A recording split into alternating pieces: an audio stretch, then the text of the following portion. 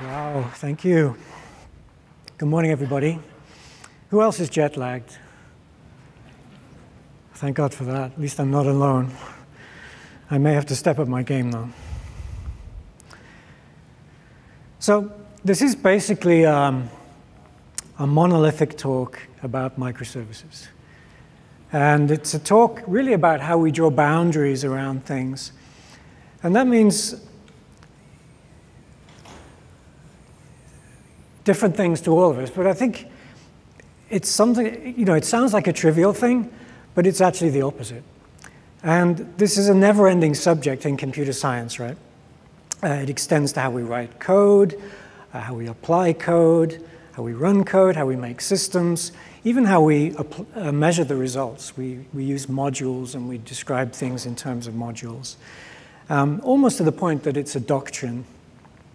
It obviously spans dev, it spans ops, uh, it's, it's uh, used by the builders, it's used by the machines, and even heaven help us, the users are even modular in some sense. And you know, I was thinking hard about what I was going to say. I'm coming into the den of, of people who, who, who deal with microservices and think, what, I, what could I possibly say to you guys that you wouldn't, wouldn't be just obvious, um, give you a different slant on something, perhaps. Uh, and I came up with these two, two issues which are kind of hobby horses of mine, things that I like to come back to again and again. One is scale, and the other is knowledge. In my background, I'm trained as a a theoretical physicist. And the meaning of scale in physics is quite different to what we think of in computer science, where scale is sort of, you know, how can we throw more resources at the problem to make it bigger or faster? Um, and I wanted to share a little bit of that perspective, what, you know, sort of a physics point of view of scale with you and what it could mean. Because I think these two challenges of knowledge and scale are the two, the two challenges for the next 20 years. These are the things that are really going to be concerning us for the next 20 years. And so I want to talk about how we distinguish things and draw boundaries around things for creative purpose. And tie this into um, the idea of promise theory, which is an idea that I've been developing for the past 10, 15 years or so. I'm going to talk about a couple of modern technologies, a couple of the technologies that are sort of coming up that are relevant to this, but I want to start out with the basic ideas, the sort of the, uh, the conceptual ideas behind it and try and perhaps try to look at some of these things using some analogies that will help us to, to understand. This image on the first slide is, is particularly apt. It shows a city. And I'll come back to it, back to cities in a minute because I think cities are going to be the model of what software will look like in the next 10, 20 years. All of the things we experience in a city, we are going to experience in software systems in 10, 20 years. So this could be the future of code, but more on that in a minute.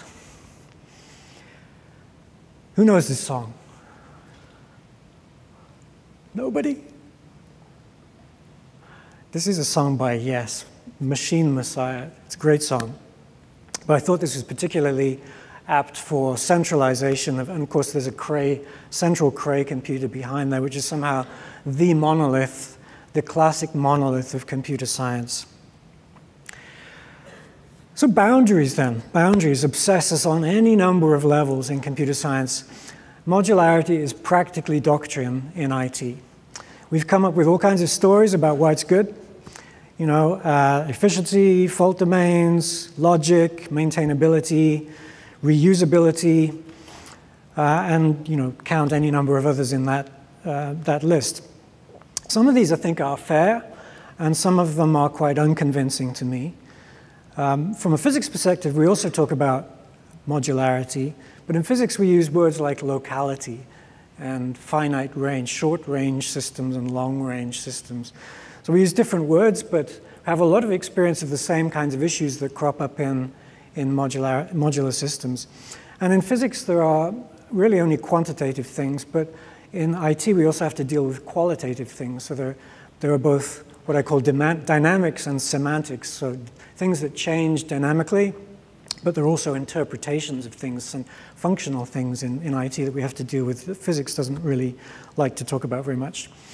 And there are actually methods in physics for understanding modularity and even trying to understand the correct definition of what would be considered a module or, or a, a, region of a system that have to do with eigenstates and eigen, eigenvalues of systems. Any, any of you guys math, mathematic, mathematicians or physicists by training? Probably, I'm sure you are, you're just shy. Uh, but these are, there are plenty of ideas around this. Um, but in the politics of tech, you know, modularity is actually quite uh, clear cut. We use tech uh, to, to, in often political ways, we think we consider it correct to define boundaries in a particular way. And this story of monoliths versus microservices, I think, is also one of those interesting stories. Years ago, when I started my company, I, I was the founder of CF Engine. CF Engine is a kind of an agent-based, totally distributed system that follows many of these principles today that you guys work with. And, uh, you know, I'd been writing this as an open source project for about 15 years, all by myself, uh, a team of one, very autonomous.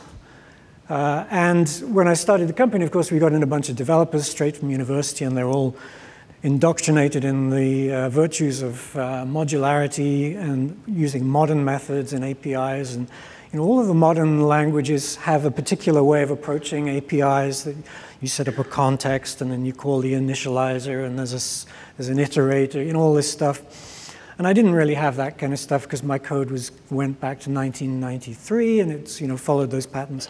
So these guys come in and they took my two header files and a hundred source code files, and they said, this is hopeless. A tangled monolithic mass of spaghetti code, you know, all the, the usual words. I said, okay, fine, modularize the hell out of it. Good luck, go for it. And they thought they were going to solve my tangled mess. Now, it turns out that uh, sometimes tangled messes are tangled for a reason, because things actually need to talk to each other in a tangled way. Not everything is clearly separable into independent parts. And so they took this thing and they, they created modules by brute force. They created these modules. And in the end, we had 100 header files and about the same number of source files. And now, every time we wanted to make a change, we had to search through 100 header files to try and find exactly the right function to include. And every file, instead of having just two header files, had to refer to about 20, 30 header files in order to work. So the overhead of making a small change had suddenly grown to a huge, what used to be a simple task now is a huge, complex task. So modularity actually carries with it an, enormous cost at times, not something we enter into uh, trivially or lightly. This may, be a, this may be heresy in the den of computer science, but I think it's something we have to consider. So separation is useful at times, but it can also be a burden, especially when we try to put components back together again. We can easily uh, develop things alone, but it's important to be able to put them back together in a particular way. And this might be a tricky thing. If you, if you remember the, the case of the Mars lander that crashed because there were teams that, uh, that I think it was America and Canada working together, and America measured things in imperial units, and Canada used kilograms, meters per second, as the rest of the world does. Oop. Java just interrupted my talk. Remind me later.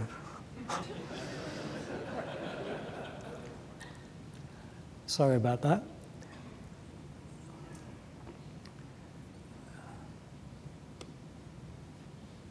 And we're back.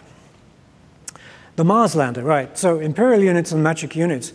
Uh, unfortunately, they got the units wrong. So when they tried to collaborate and bring these, these two modules together, they got the units wrong. The thing crashed. So clearly, cooperation is something that we have to think uh, rather carefully about. But there must be something right about modularity because it's everywhere.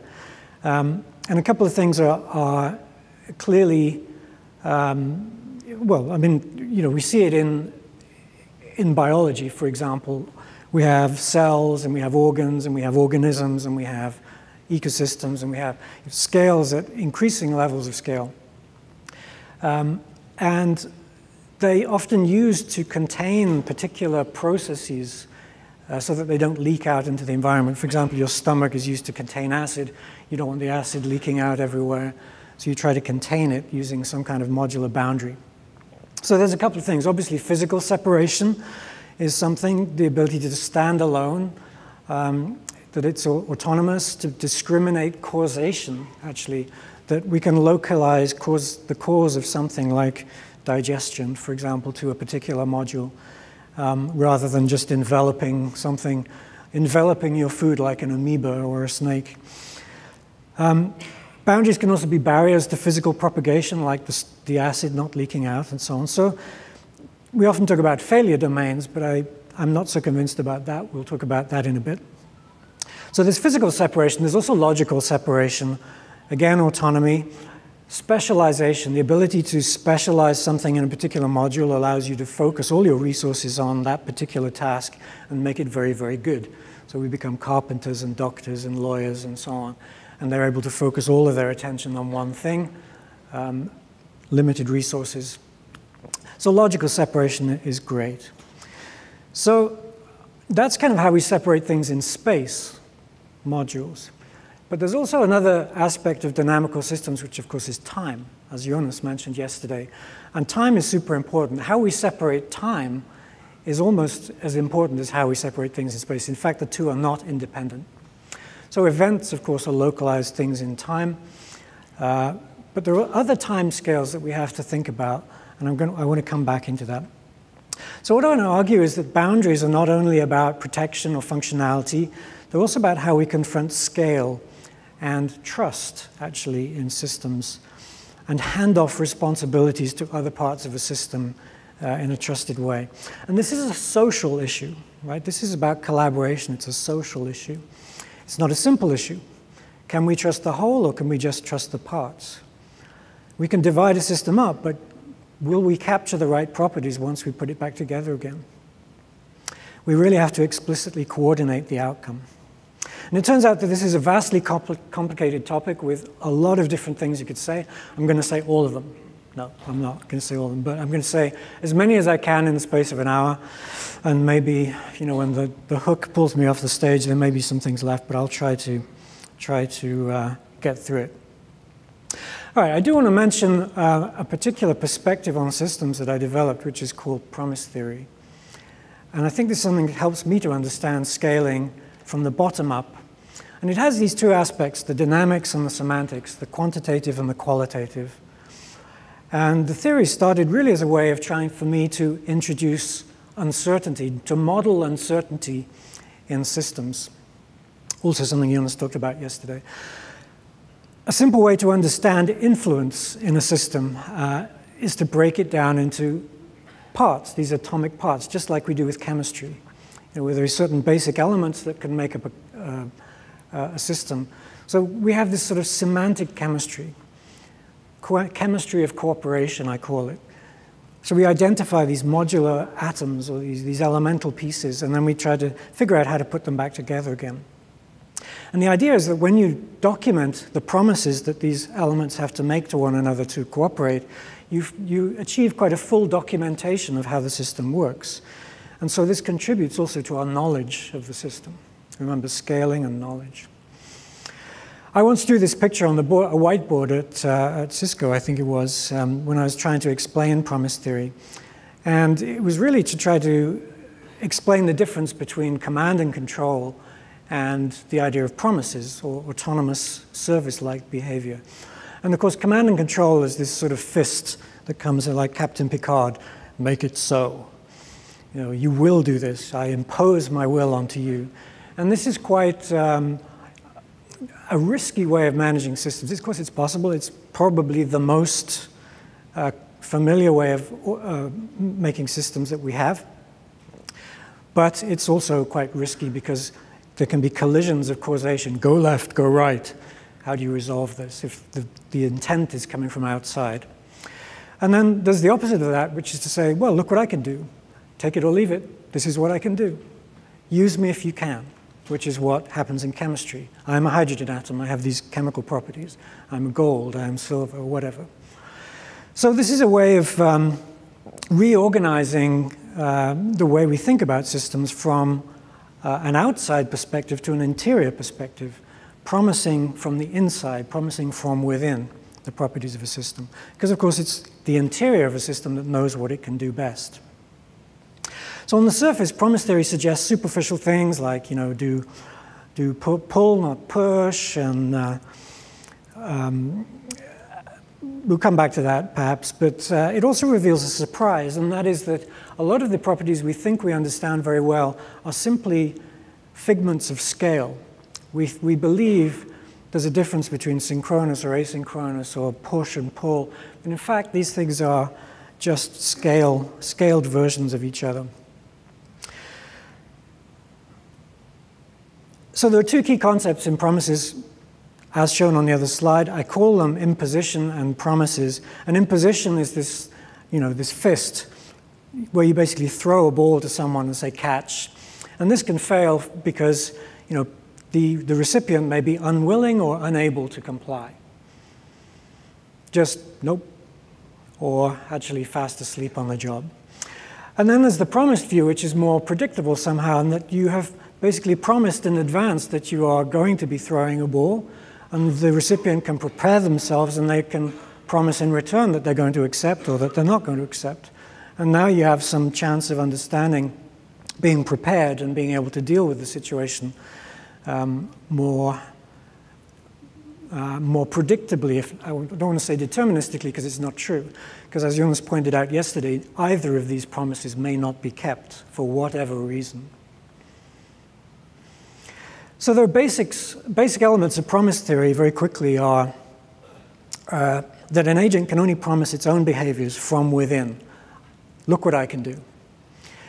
It may choose to take those behaviors from somebody else's lead, so act as a proxy for somebody else's intent. But just as a machine, of course, has no self will, just no free will, but it can represent the free will of its creator. Second is that imposition is rarely an effective um, um, strategy. The third is that both giver and receiver have promises to give. There's a, a, promise to give, and there has to be a corresponding promise to receive in order for something to get transferred. In order for intent to propagate through a system, we both have to promise it, promise to deliver it as a service, if you like, and promise to accept that service. Every agent then assesses the other agent's performance in this. Did it keep its promise? It may not have been able to, again, for whatever reason, we don't need to speculate, but it may or may not be able to keep its promise. And what does that mean to me? How does that affect me? So, dependency on other agents' promises may lead to failures, may invalidate a promise. And these are important uh, ways of understanding the graph of influence in a network. What I liked about the Reactive Manifesto um, is that it's a list of promises. It's not a description of, you know, you, you should write these modules or you should write this structure, this kind of code. It's a, it's a number of promises that systems should try to ex exhibit in order to have good behavior. So now to the more important question, can we scale promises? So it's one thing to make a promise as a single agent, but can we scale them when we cooperate? So can a whole bunch of small modules working together deliver on the final promise like the Mars lander couldn't. And this is uh, about how we put boundaries around things. So we talk about black boxes, right? We talk about uh, white boxes or black boxes in which we encapsulate a, a, a set of systems. And on the inside of this boundary, we can talk about the interior promises, the cooperative promises on the inside. And then on the exterior of this box, we can talk about the exterior promises or what this black box promises to do for you for the rest of the world. And there are plenty of different ways to do this. In uh, promise theory, we call this a super agent. It's a cluster of agents. And it basically draws a new boundary around these, this collection of independent things. Of course, it's not really a box. It's a number of agents, like a, a molecule is a bunch of atoms. It reaches out into space and has a, a fairly, you know, the structure of this boundary might not be a simple wall. It might it might be touching a container on one cloud system. It might have a finger in Tokyo. It might have a, a finger in Paris. But it nevertheless reaches out as some sort of network overlaid on top of the top of the world. And then we can see, say, can we see inside, and when do we need to see inside? So transparency is related to what we mean by the coupling of the system to, to its environment. Is there weak coupling or strong coupling? Do we need to see inside in order to, to interact with it? That's strong coupling. If we don't need to know really how, how it works on the inside, that's weak coupling. This turns out to have important properties because strong, strongly coupled systems can clearly break more easily. If we depend on the precise configuration on the inside of something, a failure or a change in that can propagate to the outside through that dependency. Okay, so that's my little preamble. Now let's get to the business in hand, to microservices and monoliths. So this is a real monolith from my hometown in Oslo. Monolith, of course, means big stone or singular stone. And uh, we've used this sort of notion of a, a big, giant monolith to, to, sig- sort of to make fun, if you like, of a particular kind of programming, which is partly fair and partly not fair. Uh, so microservices almost came into prominence by throwing stones at this, this notion of a monolith. Um, but what I think this picture illustrates is that monolithicity, if that's a, a word, is the property of being a monolith is related to um, symbolism. We use a monolith to symbolize something. Everything that we think of as symbolic is sort of monolithic. And that's an important thing to, to bear in mind. So let me make a deliberate parody of a software service as a kind of a monolith. And now I'm coming back to this city view. You know, cities were built with walls around them for defensive purposes, and you all recognize this picture from your days of castle sieges. I'm sure you've all uh, attacked a castle in your past. What we see is um, a service castle with a bunch of clients coming for a good fight around it. And these, these events are streaming in as these armies. Um, and from a distance, you know, the castle looks like a singular monolith. And from the castle's perspective, in the distance, the army looks like this monolithic army, this, this mass of, uh, this swarm of, of, of people coming towards it. As we get closer, as they start to see the whites of their eyes, of each other's eyes, they realize that there's some internal structure. In the castle, actually, there's a bunch of collaborating servers on the inside firing arrows at them. And on the outside, the, the army attacking is actually composed of a number of attacking axes or whatever. And in classic computer science way, we say, okay, this looks like an impossible task, but we can do it one by one, arrow for arrow. We can uh, simply scale this uh, one arrow at a time, serializing the queues appropriately. So our entire perspective on the, this problem changes depending on how far away from it we're, we're looking or how high above the system we are looking. So first of all, the interactions.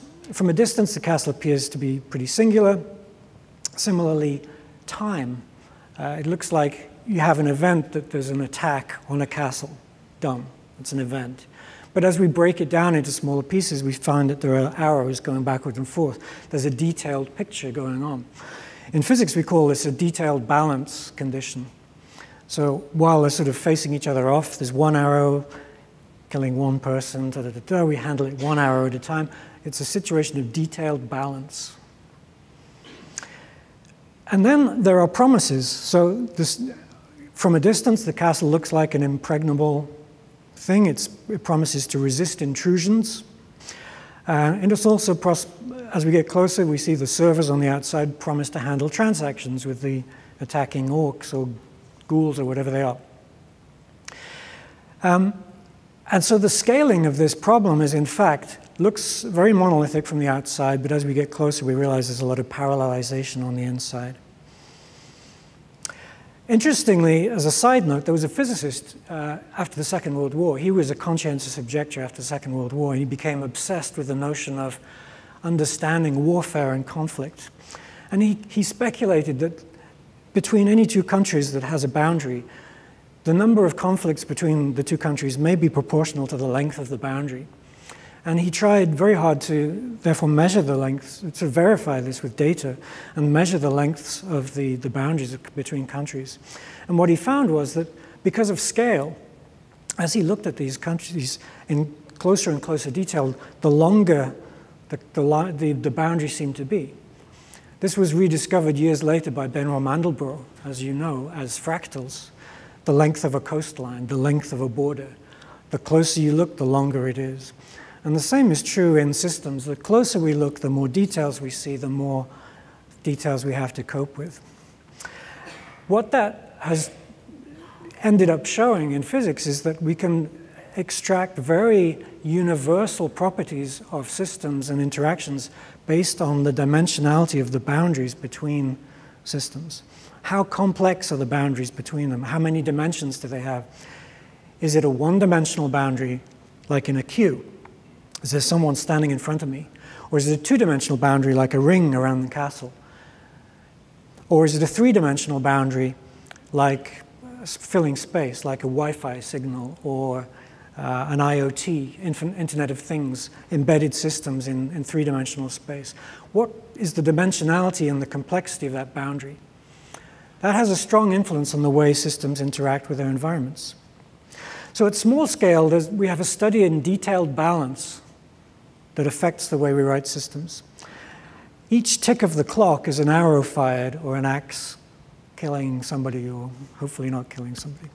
And at the large scale, we see these sort of invariant equilibria, these sort of balance conditions where things seem to be much more stable.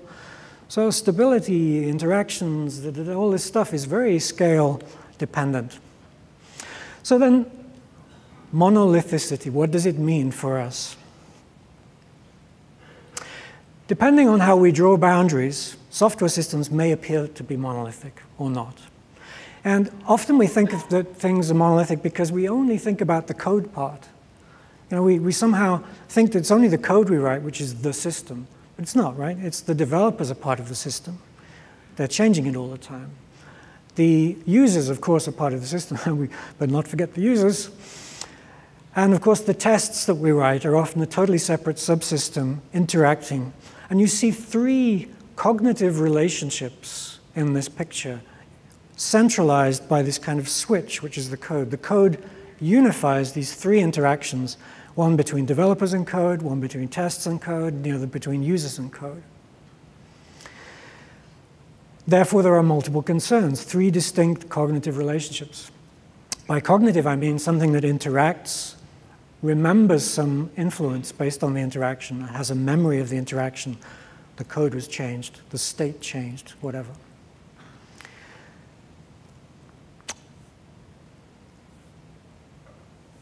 And the way we choose to scale the system depends very much on these relationships and the kinds of um, limitations that the different agents have with respect to one another. So these, at this level of detailed balance, the efficiency of the, the changes or the learning of the system or the adaptation of the system over time through software development or through state changing or through automation or whatever, whatever the reason, this depends upon the way we organize the modules in the system. So does it matter if we create a, a particular program structure as modules or something that's very sort of tangled? Does it matter if we replace a PCI bus with Ethernet? Does it matter if we, if we run something on a single host or on a collection of hosts in a cloud? Is that the point of, of, of services and monoliths? I think not. Although Ethernet may be a lot faster than PCI bus, it doesn't mean to say that the system is going to perform better because the system is constrained by its three, these three relationships. And we have to figure out exactly who we're trying to optimize for.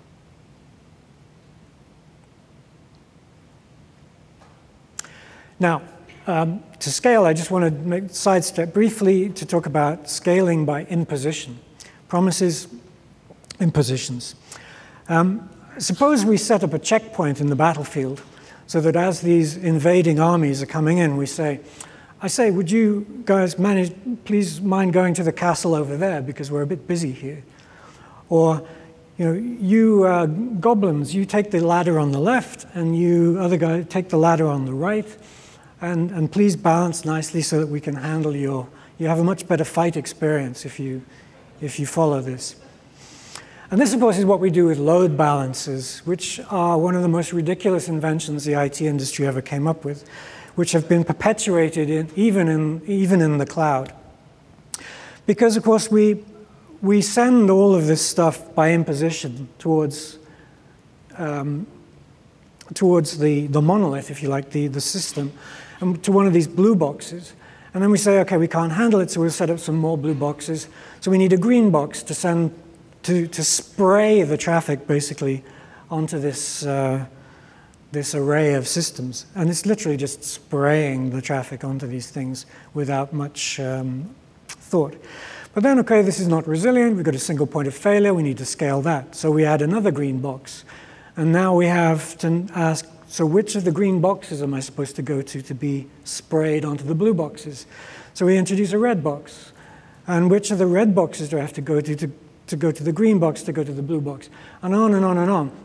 And if we follow the sort of the natural uh, pattern of resilience and non-single points of failure and horizontal scaling, what happens is we end up pushing the responsibility for choosing all the way back to the client again, who should have simply chosen in the first place, because the best way to scale a system of interactions horizontally is, of course, to simply provide the information as to where um, the best fight experience is happening. And if you've been to Heathrow Airport, you, you know where the best uh, fight experiences happen. But this is, the, this is essentially the way we scale CDN, right? Using DNS. You know, DNS is a horribly aged, primitive technology, but it still kind of just does the job. We could easily replace it with something better, but it still, nevertheless, does the right kind of job um, for, for scaling. So I suppose what I'm trying to say is that monolithicity, a good word, is really a figment of scale. And simply keeping something small doesn't a service make. So this notion of microservices versus uh, monoliths is not a very clear-cut thing. It's a scale-dependent issue. Think of a brain. Our brains are tangled networks of microscopic services called neurons. But as we scale up, it looks like a blob a centralized blob. Is it decentralized or centralized? Depends on the scale. If you look at Chinatown in any country of the world, but this is Hong Kong, it looks like a tangled mess of, of all kinds of stuff going on. Who could possibly understand it? But if you scale out, it just, it's just an island. And if you scale out of planet Earth with all of its ecosystems, it's just a ball. So these things are slightly uh, illusory. And the key thing we need to ask is that at what scale do particular promises get kept? Can we keep the same promises as we scale a system, or do, does the nature of a system change qualitatively and quantitatively as we scale the system up by necessity? Just sticking a load balancer in probably isn't going to keep it as the same kind of system. Another side note, uh, you know, the popular management belief in the superiority of teams always kind of annoyed me because, you know, I'm a pathologically antisocial, misanthropic introvert, which means I hate people. so I, I always prefer to innovate on my own. Sit in, you know, I've been reading, I've been gathering data by sequential reading, by talking, you know, the few times I, I want to talk to somebody, I get it's stored in my brain. I have a memory. Any system that has memory doesn't need to stand in front of a whiteboard in some microservice fest, uh, talking and bouncing ideas off each other like some pinball game. You can just sit quietly and do that in your head. And there's a huge network in your head, way bigger than the, you know, a little team, a two pizza team. So this idea that uh, teams are intrinsically better than people at innovating, to me, is just simple nonsense. The, this, the, the numbers don't add up, so to speak. So extroverts, you, if any, any extroverts around, shout out if you're an extrovert. Fail. you know, may get some emotional boost, some, um, some sense of inclusiveness or whatever, some warm cuddles from this interaction, but I don't think it actually helps the innovation. Okay, so finally, finally, microservices story. So what if we reorganize these uh, interactions, these cognitive relationships, so that instead of being separated through these boundaries of users, code, uh, tests as totally independent things, we, we shrink wrap them differently. Like when you go to the supermarket and they sell you like a box of cookies, and each one is individually wrapped, and then it's wrapped in another box, and then the three, three boxes are wrapped in a big box, a super box. We can just reorganize the wrapping to make a variety pack. And that's kind of what microservices are. So my friend uh, Adrian Cockcroft, who, who talked a lot about this around the experiences at Netflix, made this important point that um, the point of microservices is to optimize one of these cognitive relationships, the one that is somehow the weakest one, which is the human cognitive experience. And have you guys heard of Robin Dunbar? This, the, he's a British psychologist who came up with the notion of the Dunbar number. It's this idea that the human brain, actually all, all primate brains, are scale in size according to the number of relationships that we can maintain.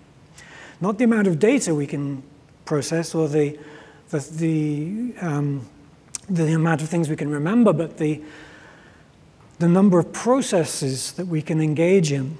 So a relationship is an ongoing process, more than just an event, but an ongoing session, if you like, between you and a friend. And it's this notion of revisiting an interaction over time and interacting on a regular basis that builds continuity, trust. We learn knowledge. We memorize the behavioral aspects of systems and we learn to adapt to them. That's a cognitive system. And it's that adaptation which is the notion of um, uh, trust. That's why we trust things when we, we understand how they behave. Do they keep their promises or not? And this is limited by the dimensionality of the scaling boundaries.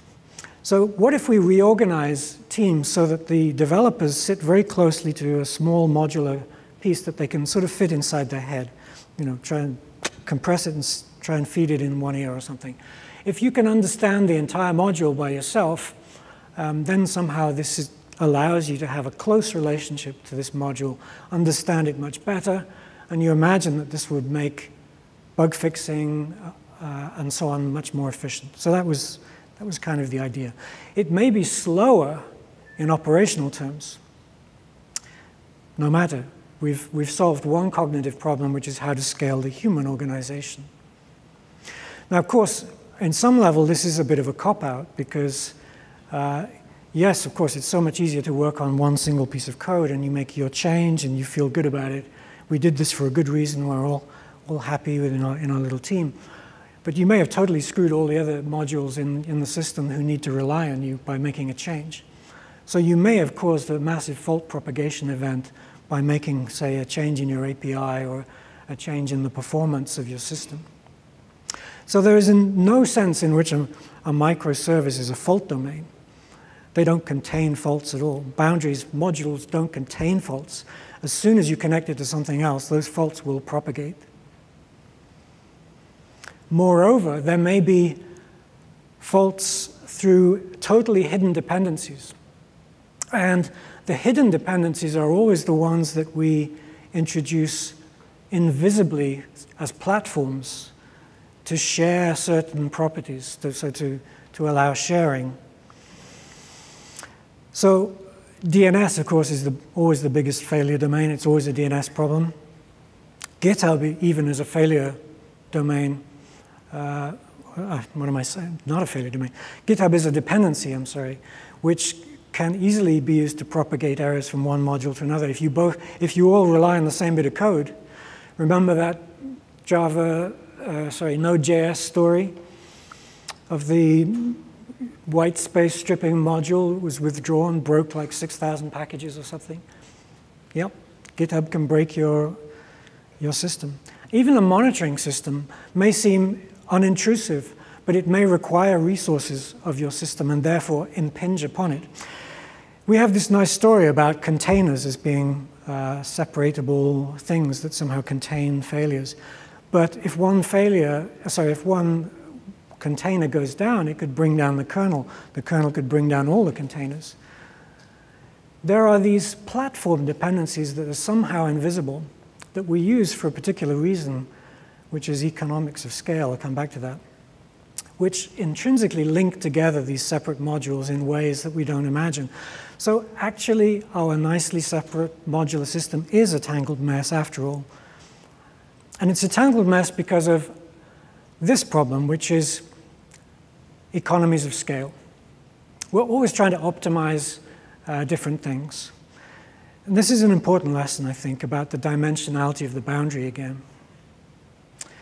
We claim that horizontal scaling is good, but vertical scaling is always cheaper, right? If you have to introduce the overhead of switching between servers, that's an overhead. It costs more. It's simply slower. If you have to wait for a failover, that's slower than fixing a system rapidly. If you have to go to more than one location to buy your groceries, it's less efficient than just going to a supermarket and getting them all in the same place. This is the idea of economies of scale. If we can aggregate things in a single location at a single server, we can utilize its capacity at a much higher level. Less cost, less overheads, but somehow heresy because it breaks with the idea of modularity. The way we get around that is to say, well, this is related to the commoditization of things. If we can make everything look quite similar, then we can easily aggregate them without causing too much damage. And we can use the same semantic boundaries, the same modules to handle them in the same kind of way. Uh, and we can make that very efficient without sort of muddling together concerns, if you like, uh, too much.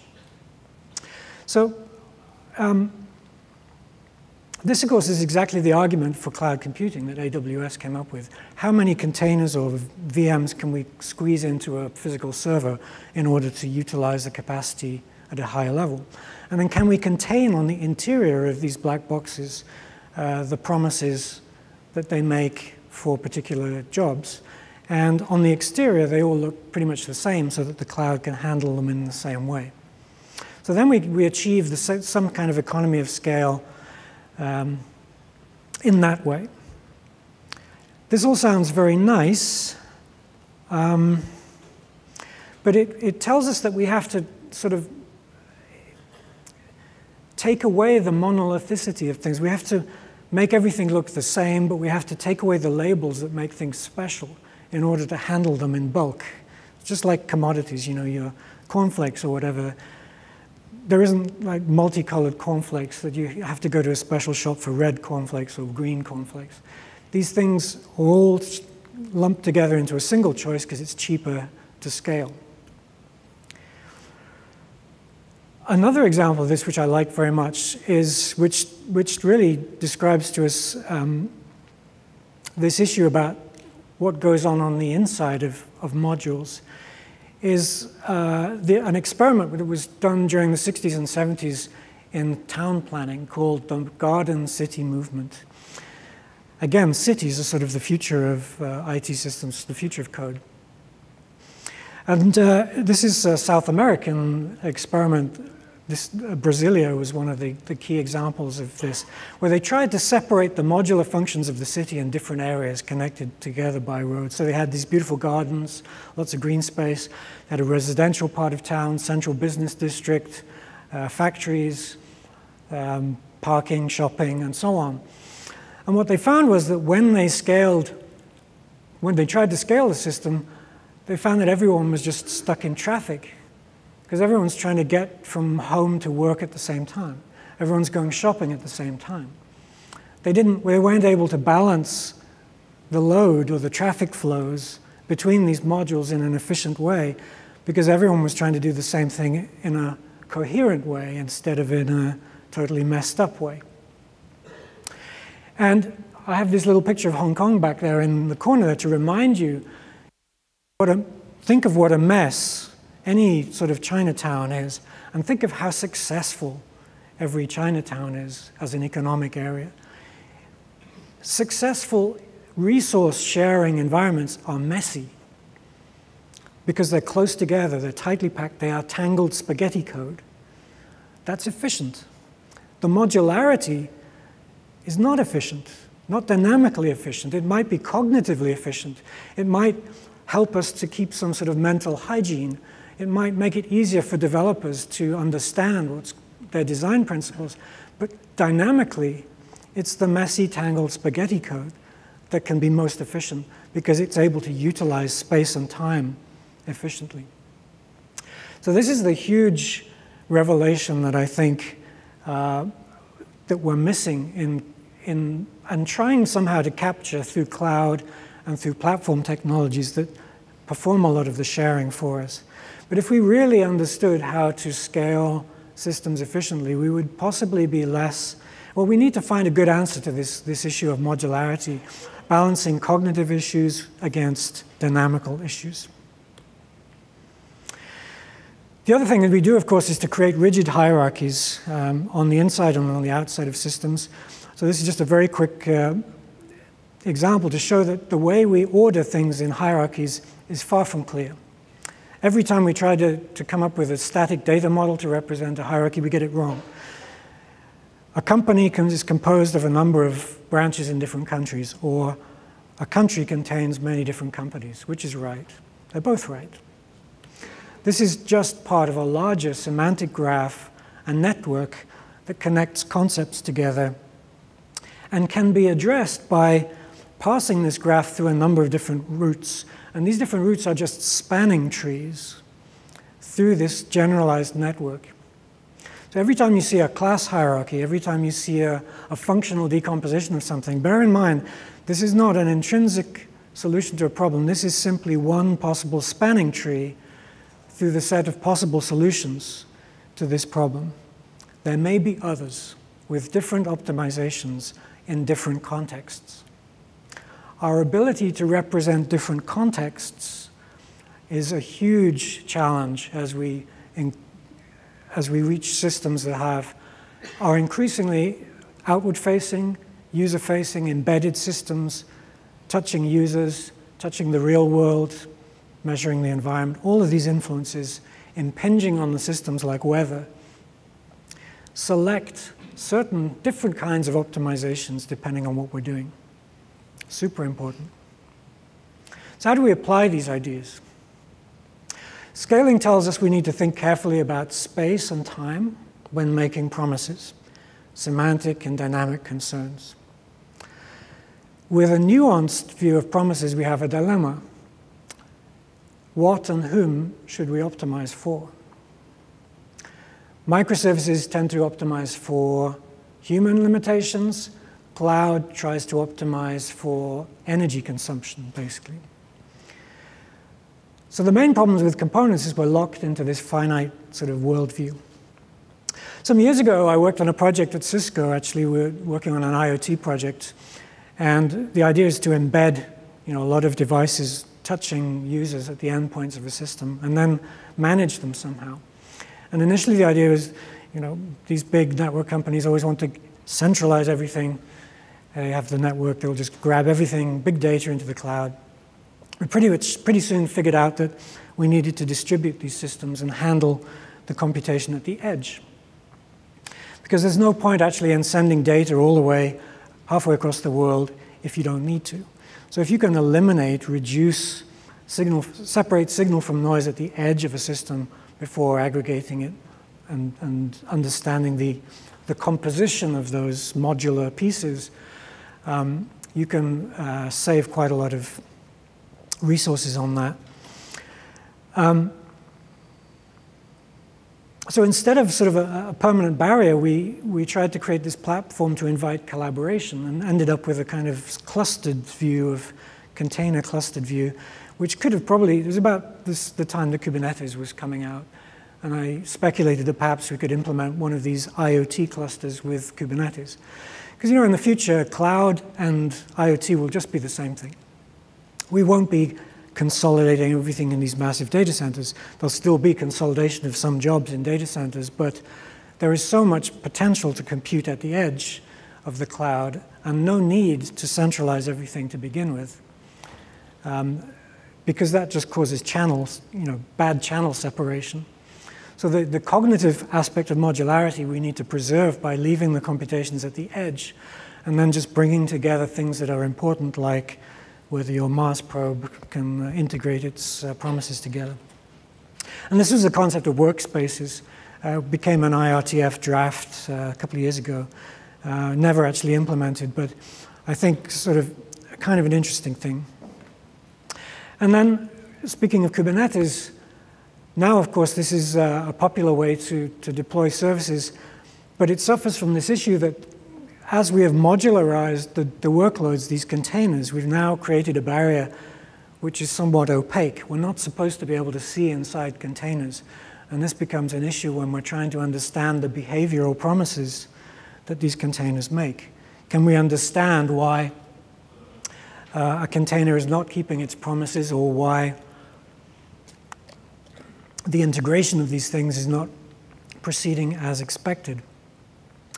Um, so there's this conflict of interest between entropy or forgetting information, not, not distinguishing between things, and having too much information about what's going on inside. This again relates to the trust issue. So, you know, a lot of technology being built today, and here, is a, here are a few projects, um, all of them wrestling with these dilemmas about what's on the interior of a boundary and what's on the exterior of a boundary. How much should we share? How much should we expose? And how much time will we waste by processing information that we don't need to see? I've been uh, fortunate to work on a project now with IBM where we've been working on um, instrumenting these cloud container systems. And some of you, have you heard of Istio? Istio is like um, this nice sort of layer seven cloud um, monitoring sidecar system where you can instrument containers with uh, uh, these sidecars that can pull out metrics and observe them and integrate these pictures and really be able to look inside these uh, otherwise closed containers, break them apart, inject faults, and do the testing. And if you think about those, those three cognitive processes surrounded by the code, we're now able to do the testing on both the dynamic and the semantic level by injecting semantic faults or in, by injecting particular semantic viewpoints into a system and then learning, applying machine learning. There's uh, this old project of mine, Cellibrium, is, applies some machine learning techniques and cognitive reasoning, artificial reasoning techniques to try to integrate a picture from these separate modular pieces. But not, not sending just all the information into a single lump and trying to churn through it as big data, but at each stage using boundaries to filter only meaningful signal from noise so that we can understand the context in which signals were created. Because without context, we really cannot understand the full behavior, semantic and dynamic behavior of a system. So these twin learning cycles that we should always keep in mind there's the experiential stuff, the evidence-based stuff, and the approximations we make to that. And then there's this intent, what we hoped a system would do, the code, the policy, and so on. Someone invented this pejorative monolith to ridicule the notion of scaling. But what does that mean to us on a scale beyond just simple IT? As we head into this age of smart cities, countries, districts, buildings, services, even money. There are all of these social processes, these network processes that are um, that we need to understand. The true purpose of a monolith is to be simple and comprehensible, to be that symbolic totem, that monolith, that uh, obelisk like the Washington Monument or this uh, 101 Tower in Shenzhen in China. And we need to figure out which relationship it is we, op we optimize for. As humans interact with the system, it's always us. We, we place ourselves in the system and we, we imagine that the system behaves like us because we're so used to you know, reaching out with our limbs and touching things with our hands, we think command and control because that's how we operate ourselves. And we think of technology as an extension of ourselves. And so we go through a, a phase when we're building technologies that we build tools to help ourselves that look somewhat like us. On the left hand side, we, we create these sort of monolithic technologies that imitate command and control. And they scale in a very monolithic way, not too well. They give us some kind of super strength, like a, a super suit to wear. But then, as we rethink and, and adapt and manage to write ourselves out of the narrative, we figure out how to coax space itself to keep the promises that we were trying to keep manually ourselves and get every element of space and time to keep that promise for us. So we end up with something that looks like a data center for growing plants, a hydroponics farm. We've transformed space-time, if you want, into a factory by commoditizing, by removing labels, by making all of these independent locations similar and creating a kind of a cloud for agriculture. Another example is how we deal with garbage collection, storage. Storage, garbage collection, basically the same thing. We start out thinking, okay, we've got a flood. How do we handle this? Men come with tools. Yes, we will create a giant, uh, a giant uh, monolith to suck up the water like Superman. And then someone comes up with the idea, well, why don't we just adapt space-time to suck away water automatically in a scalable way, a distributed microservice approach, if you like. Much easier, totally without human intervention. So as we scale these issues, we, we, we struggle with this dichotomy between wanting to uh, have individuality, symbolic understanding, and this idea to have shared anonymous behaviors that uh, are easy to trust in the sense that they scale well, but they're not easy to trust because we don't see so easily how they work. They're harder to understand, perhaps. Joseph Tainter was a, an anthropologist. He studied the collapse of civilizations. And some of you may recognize this, uh, this curve from his book. It looks pretty much like Gunther's scaling law. His idea about why various civilizations through time collapsed was because they modularized. As they grew in sophistication, they wanted to specialize certain functions carpenters, metal, metallurgists, government, police, whatever. And they became so specialized that they began to develop their own language into, on the interior of these, these boundaries. And when they wanted to talk to each other, they no longer talked so much to each other, so they didn't trust each other so much. So Chinatown became this garden city. And every time they wanted to visit each other or talk to each other, they'd like have to, yeah, you can uh, make an appointment. if you fill out this form and triplicate, yeah, you can come and see me on Tuesday. Because now trust is, you know, and this is what we do when we make modules when we make organizational barriers, departments, we no longer trust each other. We no longer have those casual conversations. We erect barriers and it becomes inefficient. The cost of modularization has one header file per department. It becomes expensive. And eventually, this expense chokes civilization and it becomes too expensive and it just falls apart. This was his, his view, totally independent of IT, but a, a nice counterexample. So, modules and boundaries don't exist in a vacuum. The way we choose modules implies a particular perspective from which it might be hard to escape. Reactive adaptation is a cognitive process which pushes slowly at the envelope of invariant things in the system, the invariances. It's not a transactional issue. It's about what is invariant or persistent in a system. So we should ask, do our module choices reflect the cognitive invariance of our system? Because if they don't, we risk having weaknesses. If we're trying to build consensus on things that are varying all the time, you know, consensus is expensive, like Joseph Tainter's uh, or Gunther's scaling law. Even in this talk, you know, I tried to come up with a modular approach just to be smart or pretend to be smart.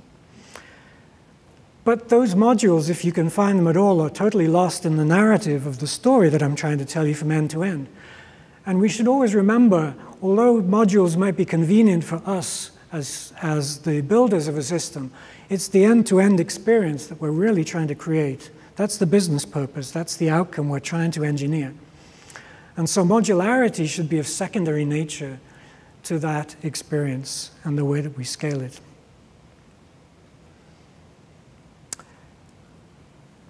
Boundaries may help us or hinder us in managing uh, networks. Dynamical and semantic resources are taking increasing variety of forms, containers, unikernels, microservices, etc., etc. Um, and these cognitive relationships that I mentioned are something we tend to forget because we're so used to them. We, we are part of them, and the users are part of them. But we should bear in mind that those are the things that have severe resource limitations because cognitive things are expensive in memory and in time. So, as we look at boundaries, we need to sort of really be asking uh, are we looking inwards or are we looking outwards? And with respect to which boundary? If you want to read more about this, I have some bounded um, text on these topics. Uh, the one with the sort of finger of God pointing down it is, I would recommend to you. That's the one that Kiki was kind enough to uh, recommend to you. These are sort of in order of increasing incomprehensibility. So start by all means from the left and uh, work towards the right. The right is still a work in progress, and the link that I showed you here is, is a link to that, so it's all free. Uh, you're welcome to look at it and even comment on it, and I'd be happy to hear your feedback. And also, I would be happy to take your questions. So, thank you for your attention this morning, and I hope you have a great conference.